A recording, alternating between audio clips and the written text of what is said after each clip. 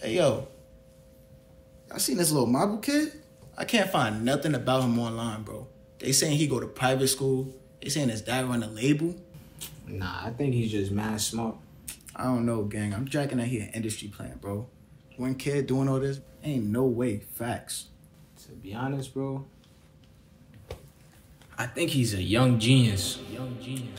Like most of y'all rappers that signed to the streets, only dealers we took was a plea. Mabu get money, Wally P, shout out my label, that's me. I own 100% of my cuts, bitch, nobody taking a fee. 3.14159263, I'm the king of NYC. I heard they send my music to police, so this is a message to NYPD. I cap on my raps, I'm an innocent tweet. Keep a teddy bear when I sleep. I'm rapping the words, but they write it for me. Me, I'm all about keeping the peace. I mean, at least I get paid, cause a lot of these rappers be capping for free. They call me the Ock, I got the bread, she chop, but said, can I? Never, never, never. I guess she forgot the bev like two fives don't equal a ten. Quick math, don't try it again. She shaped like a turtle or a hen. Her makeup is fuck, she don't know how to blend. Make her do Wordle. She need to have brains if she giving out head. Call her Virgil. Cause the way she be blowing shit got me dead. Shawty got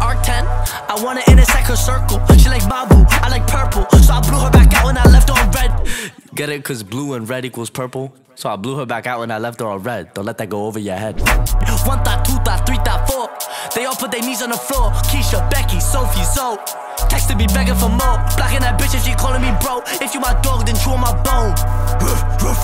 Lil Mabu the king, switching the flow. To all my competition, dig a grave, dig a grave. I invested money in myself and it paid. I can't take a break till my boo is a household name.